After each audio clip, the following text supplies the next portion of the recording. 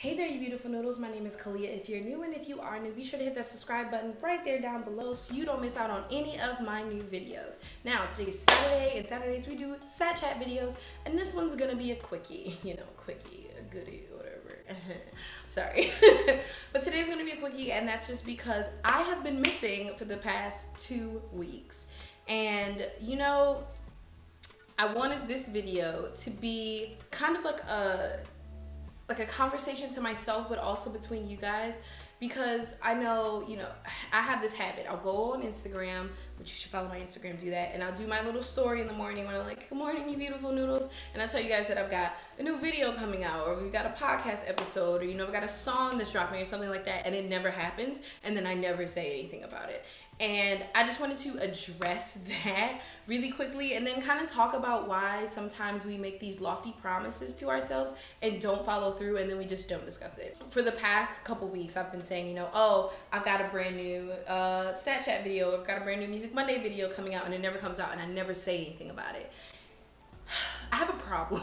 okay, let's just, it, point blank period, I have a problem. I'll overpromise things a lot and because I am, I don't know if I want to say ashamed, but like, I'm disappointed in myself really for not following through.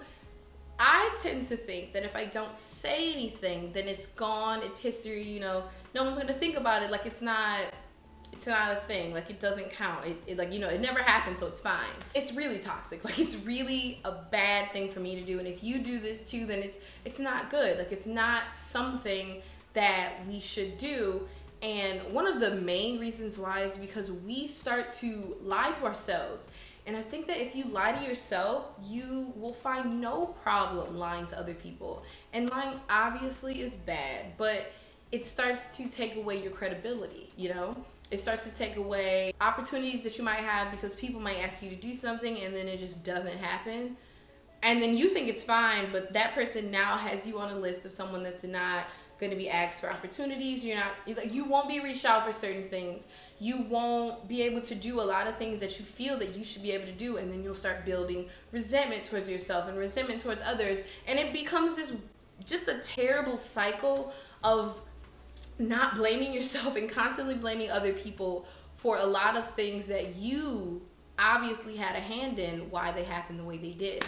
Now, I am putting this video out because I want it to be a self accountability. Like, I am holding myself accountable for all of the things that I've missed, all of the things that I haven't done, all of the promises that I've said, all of the videos that I've said would be put out. Like, I am holding myself accountable. And from this day forward, if I do not have a video to post and it's not been done and I won't have it done that day, I am going to be 100% honest because I've been trying to you know, put on this facade like, oh, I'm a YouTuber. I put out videos. I do this.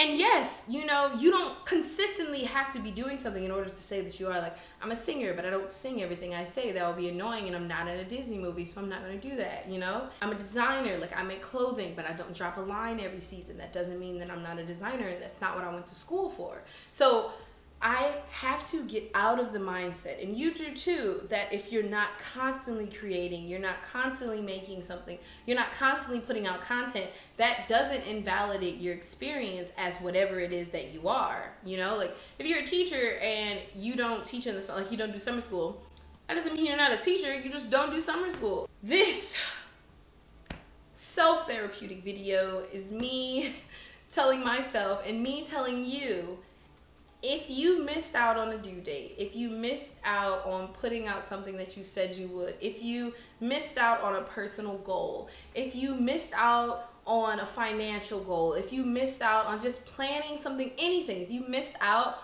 on something that you set for yourself, it's okay. You didn't get it done.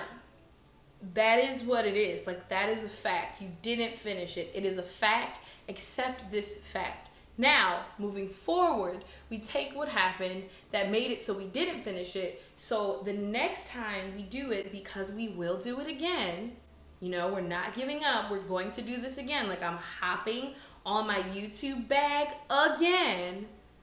We're going to take what we learned from last time and we're going to fix it in the future. See me, I try to force myself to make the videos the day that they're supposed to come out and that's not like it doesn't work. Obviously, any video that you watch of a good prominent YouTuber and they're telling you their tips, they batch record. So they record before the day that it has to go out, so you have time. If something goes wrong, you can do it again.